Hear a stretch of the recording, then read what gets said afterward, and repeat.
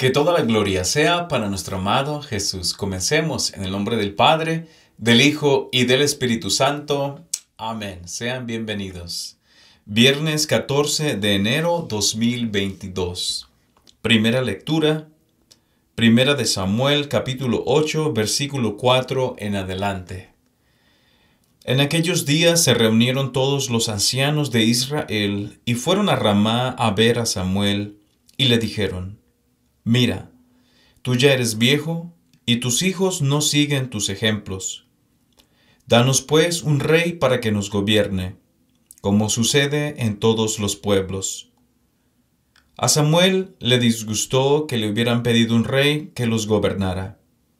Entonces Samuel invocó al Señor y éste le respondió, Dale al pueblo lo que te pide, pues no es a ti a quien rechazan, sino a mí, porque no me quieren por rey. Samuel comunicó al pueblo que le había pedido un rey las palabras del Señor y dijo, Vean cómo los tratará el rey que reine sobre ustedes. Tomará sus hijos y los hará servir en los carros y en la caballería de él, y los hará correr delante de su propio carro algunos de ellos los pondrá al frente de mil soldados y a otros de cincuenta. A otros los obligará a labrar y cosechar sus tierras. A otros los hará fabricar armas para la guerra y aparejos para sus carros. Tomará también a las hijas de ustedes como perfumistas, cocineras y reposteras. Les quitará a ustedes sus mejores campos, viñas y olivares y se los dará a sus ministros. Exigirá el diezmo de lo que produzcan los sembrados y viñas de ustedes, y se lo dará a sus ministros y a sus criados. Tomará a los criados y criadas, criadas de ustedes, sus mejores bueyes y asnos, y los empleará en los trabajos de él. Les exigirá el diezmo de sus rebaños, y ustedes mismos se convertirán en sus esclavos. Aquel día clamarán al Señor contra el rey que ustedes mismos elijan, pero el Señor no les responderá. El pueblo, sin embargo, se negó a escuchar las advertencias de Samuel y gritó, No importa, queremos tener un rey y ser también nosotros como las demás naciones. Nuestro rey nos gobernará y saldrá al frente de nosotros en nuestros combates. Samuel oyó las palabras del pueblo y se las repitió al Señor, y el Señor le dijo, Hazles caso y que los gobierne un rey. Palabra de Dios, te alabamos, Señor. Salmo responsorial 88. Proclamaré sin cesar la misericordia del Señor. Señor, feliz el pueblo que te alaba y que a tu luz camina, que en tu nombre se alegra a todas horas y al que llena de orgullo tu justicia. Proclamaré sin cesar la misericordia del Señor. Feliz porque eres tú su honor y fuerza, y exalta tu favor nuestro poder. Feliz porque el Señor es nuestro escudo y el Santo de Israel nuestro Rey. Proclamaré sin cesar la misericordia del Señor. Evangelio Marcos 2, versículo 1 al 12. Cuando Jesús volvió a Cafarnaum, corrió la voz de que estaba en casa, y muy pronto se aglomeró tanta gente que ya no había sitio frente a la puerta. Mientras él enseñaba su doctrina, le quisieron presentar a un paralítico que iban cargando entre cuatro. Pero como no podían acercarse a Jesús por la cantidad de gente, quitaron parte del techo encima de donde estaba Jesús y por el agujero bajaron al enfermo en una camilla. Viendo Jesús la fe de aquellos hombres, le dijo al paralítico, Hijo, tus pecados te quedan perdonados. Algunos escribas que estaban allí sentados comenzaron a pensar, ¿por qué habla éste así? Eso es una blasfemia. ¿Quién puede perdonar los pecados sino solo Dios? Conociendo Jesús lo que estaban pensando, les dijo, ¿por qué piensan así? ¿Qué es más fácil decirle al paralítico, tus pecados te son perdonados, o decirle, levántate, recoge tu camilla y vete a tu casa? Pues para que sepan que el Hijo del Hombre tiene poder en la tierra para perdonar los pecados, le dijo al paralítico, Yo te lo mando, levántate, recoge tu camilla y vete a tu casa. El hombre se levantó inmediatamente, recogió su camilla y salió de allí a la vista de todos, que se quedaron atónitos y daban gloria a Dios diciendo, Nunca habíamos visto cosa igual. Palabra del Señor. Gloria a ti, Señor Jesús. Hoy mandamos un saludo a Elena Macías y a Katy Chavarría. Queridos hermanos, gusto en saludarlos, gusto en estar con ustedes un día más. Hoy vemos en la primera lectura que el pueblo de Dios le pide a Samuel un rey. Muy curioso, ¿no? Le dice, queremos ser como las demás naciones.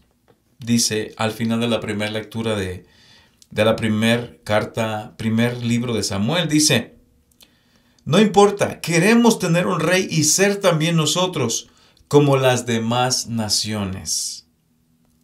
Fíjense hermanos, cuántas locuras hemos hecho el hombre a lo largo de la historia porque queremos ser igual que los demás.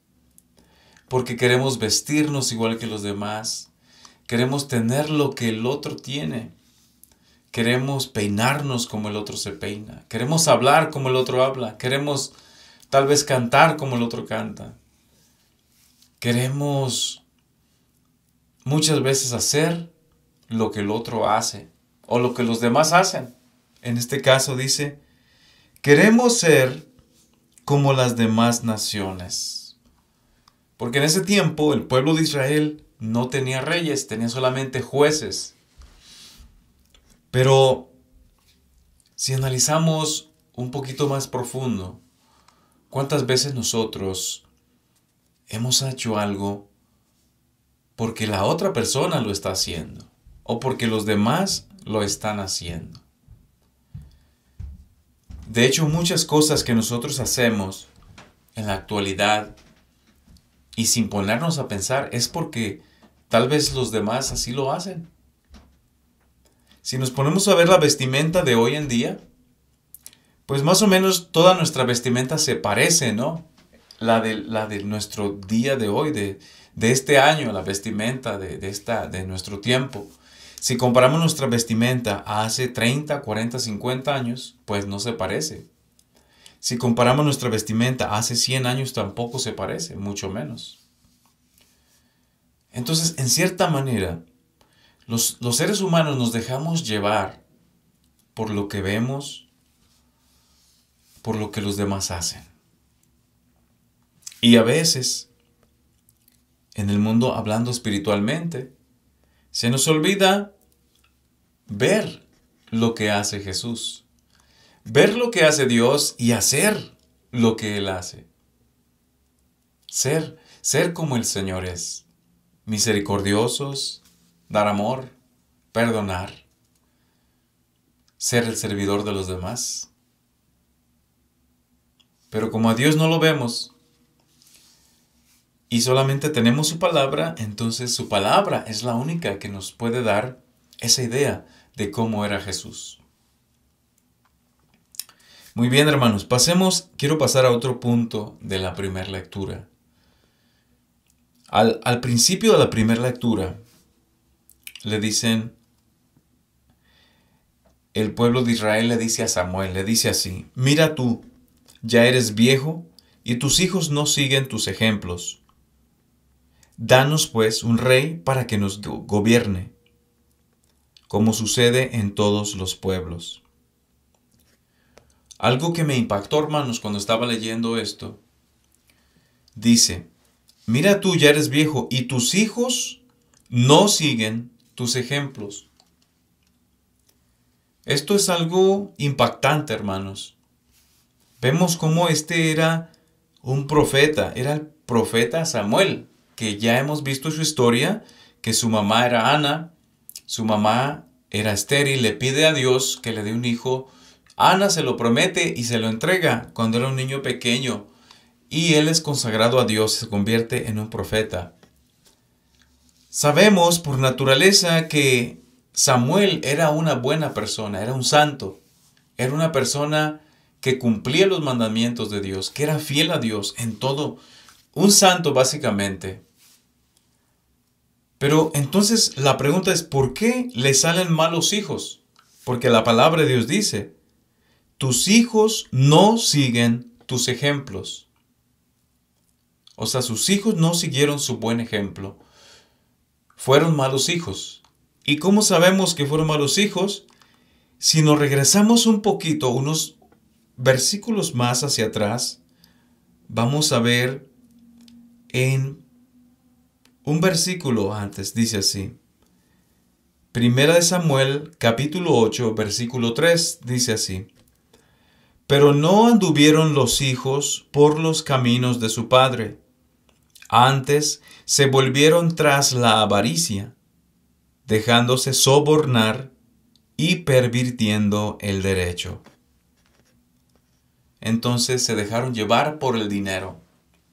Se dejaron sobornar como decimos en México, les daban su mordida.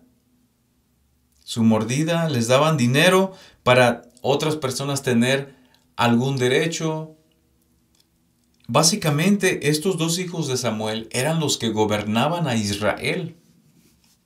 Eran los que mandaban, eran los que estaban a cargo de un pueblo numeroso.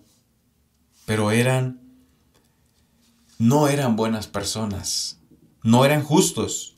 Dice, dejándose sobornar y pervirtiendo el derecho o pervirtiendo la justicia. O sea, eran injustos básicamente. No eran personas de integridad, no eran personas de confianza. Se corrompieron por el pecado. Y la pregunta es, ¿por qué salen dos hijos malos de un padre bueno? De un padre santo. ¿Por qué le salieron dos hijos malos?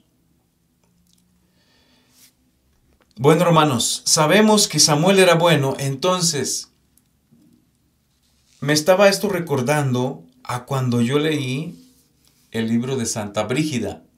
Y ahí le explica Jesús a Santa Brígida que a veces, de vez en cuando, salen hijos malos de padres buenos. Y a veces salen hijos buenos de padres malos.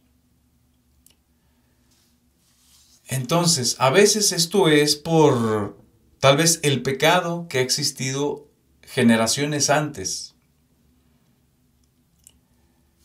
Y a veces salen hijos buenos de personas malas porque la gracia de Dios está allí y a través de esos hijos buenos los padres tal vez van a regresar al camino de Dios. Entonces, quiero terminar con esto. Si a ti ¿Te ha tocado algún hijo malo, o una hija mala, o un hijo rebelde, o un hijo que anda en malos pasos, en malos caminos, no te escucha, no quiere acercarse a Dios? Yo pienso que de esos existen muchos, ¿no? O existimos muchos.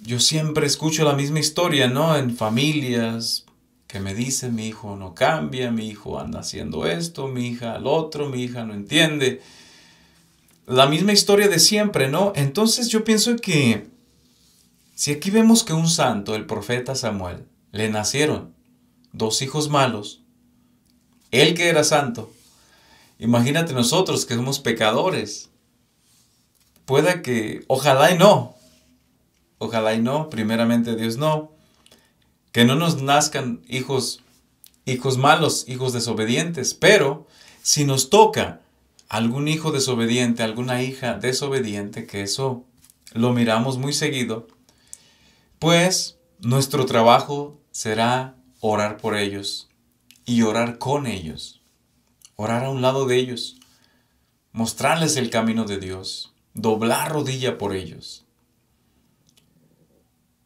Tal vez esa es nuestra cruz, tal vez esa es tu cruz, o es una de nuestras cruces, es una de tus cruces, yo no sé tu situación familiar. Tal vez nosotros hemos sido ese mal hijo, esa mal hija. Tal vez así fuimos con nuestros padres. Entonces, hermanos, hoy el Señor nos anima y nos dice, ánimo. Si tal vez te tocó un hijo desobediente, un hijo rebelde, pues tal vez no es tu culpa. Tal vez así era el destino o tal vez es por pecados que nuestras generaciones anteriores cometieron. Entonces, ánimo. El Señor nos anima y nos ayuda a recordar el ejemplo de Santa Mónica. Santa Mónica tuvo un hijo muy rebelde y ese hijo rebelde se llamó San Agustín, uno de los más grandes santos. Pero gracias a las oraciones de Santa Mónica, él llegó no solamente a ser sacerdote, sino obispo y santo y doctor y padre de la iglesia. Imagínate todos los títulos que un gran santo puede tener. Así que tenemos, si tenemos un hijo rebelde, una hija rebelde, tenemos una oportunidad también de llegar a la santidad. ¿Cómo? Orando por ellos, sacrificándonos por ellos, doblando rodilla por ellos. Que Dios te bendiga. Ánimo. En el nombre del Padre, del Hijo y del Espíritu Santo. Amén.